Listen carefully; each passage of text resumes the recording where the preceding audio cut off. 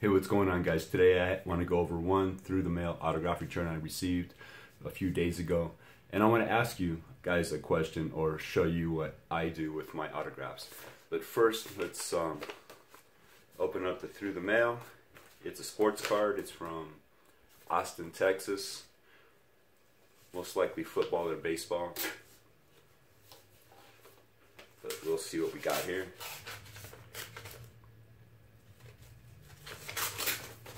And we have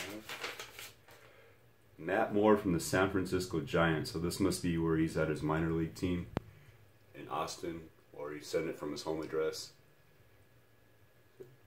Cool. So, Mr. Moore, thank you. That's awesome. I'll add that to the collection. And I want to ask you guys, what do you do with your autographs when you get them? Do you shove them in a box, in a binder? Do you do you scan them and keep them on a in the cloud? I I keep mine in a binder.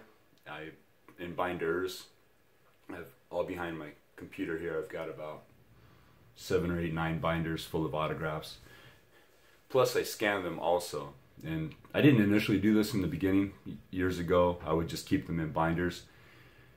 But I finally woke up one day and a light went off and said I should just scan all these so I have a portable, permanent record of all my autographs. And initially, I used uh, Dropbox, but they have limited space available for free. And now I use Google Drive. They have still a limited space, but they have more available free space for average users to use. I think they provide 17 gigs of uh, hard drives or um, space, and I've only used two so far. So I've got quite a bit of uh, room to grow my uh, collection. And plus, I can take it anywhere. I back them up on Google Drive, and I have Google Drive on my phone, so I can reference my autographs whenever I want, wherever I want. They're right there on my phone. Plus, I keep a a separate file, one on my computer and one on a, on a um, removable hard drive, just so I have a backup if for some reason one of the others should crash or fail or I can't access those. So I've got my autographs backed up three times um, on the computer on a hard drive and in the cloud with Google Drive. And I can add, I can just scan this one and I'll toss it on Google Drive into the folder for my autograph cards, and it's there forever.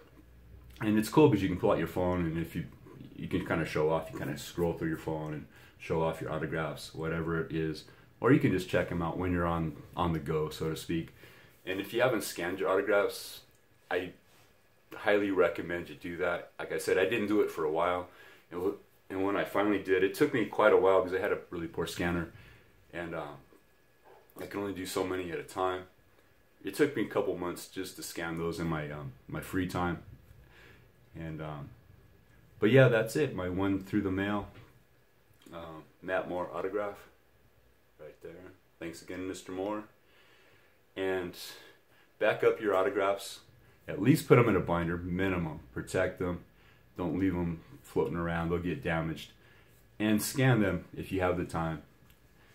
And that way they're always there 24 7 on the go at home whatever and it's much more convenient when i pick up my phone and i can just check out my autographs or kind of brag show them off whatever to whoever so yeah that's it for today really short video thanks for watching hope you enjoyed it. We'll see you next time. Later